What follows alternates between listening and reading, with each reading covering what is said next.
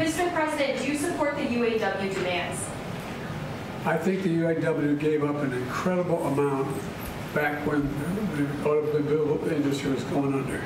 And I think that now that the industry is roaring back, they should that they should participate in the, in the benefit of that. So yes, I support. I always support the UAW. Did, did the, Trump's decision to visit the UAW workers play into your decision to go? Absolutely not. This is a decision uh, to visit the picket line was based off his own desire. Uh, President Biden will be joining the picket lines with United Auto Workers strikers in Michigan today. The White House claims that Biden's visit has nothing to do with former President Trump, who uh, had already planned to go tomorrow. He'll be meeting with the strikers in Detroit tomorrow. Joining me right now is Michigan Congressman John James. He's a member of the Transportation and Foreign Affairs Committees. Congressman, thanks very much for being here. I, I know you recently met with UAW strikers yourself, and you brought them breakfast. Uh, tell us about that and your thought on Biden's trip, uh, coincidentally, the day before Trump is going to visit.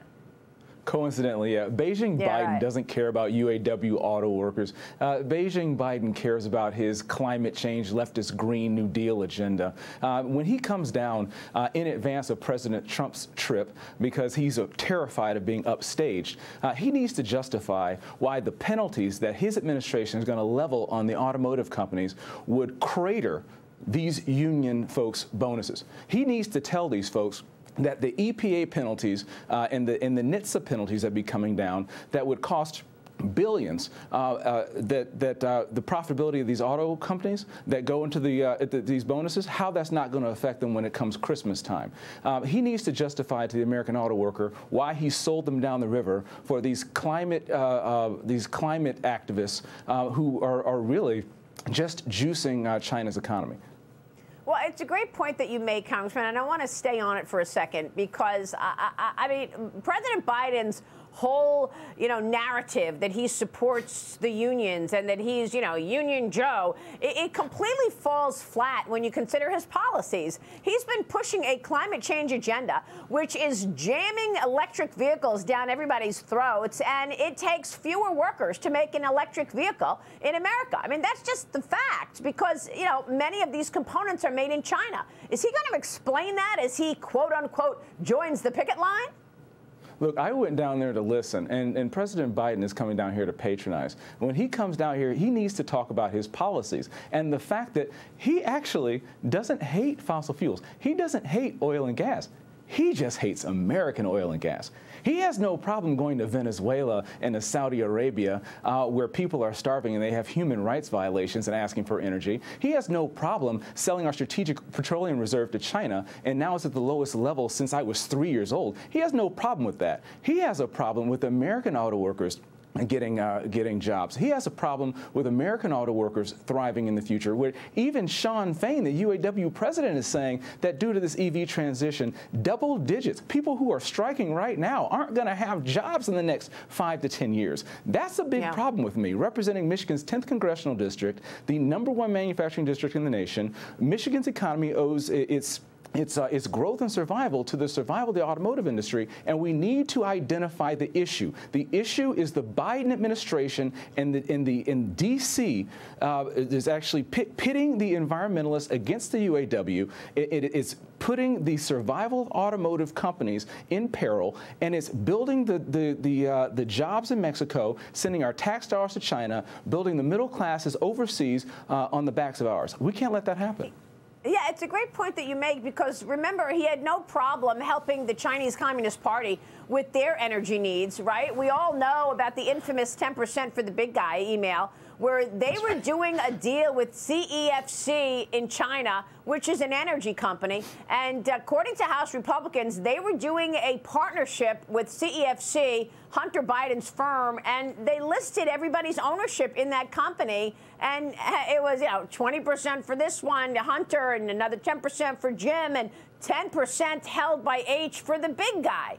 So your point is well taken. He he doesn't hate fossil fuels. He just hates American fossil fuels because he was perfectly willing to work with China for their fossil fuel needs. Meanwhile, former President Trump is accusing President Biden of destroying the United Auto Workers uh, overall, putting out this statement on Truth Social. President Trump says when Biden slowly walks to pretend he is a picketer, remember he wants to take your jobs away and give them to China. Turn your back on this president and shout out to your union leadership to endorse Donald J. Trump. Congressman, this is what President Trump put on, and he's going to go there and do a rally, I guess. I don't know what his plans are when he goes tomorrow.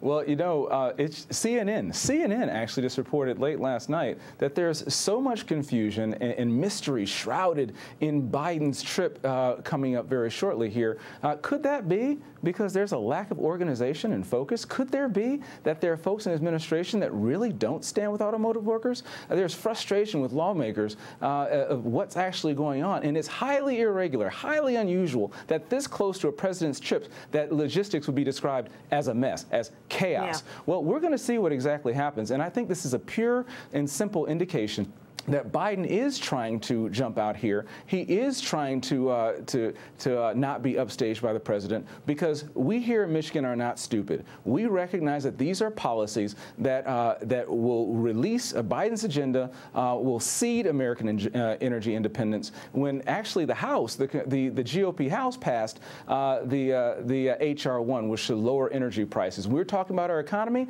The best Yeah. way to help our economy and lower prices for everything is to lower our energy costs. That's what the GOP House is about, and the Biden administration wants to increase your cost, wants to increase your pain, and Beijing Biden cares more about enriching the CCP than he does about you.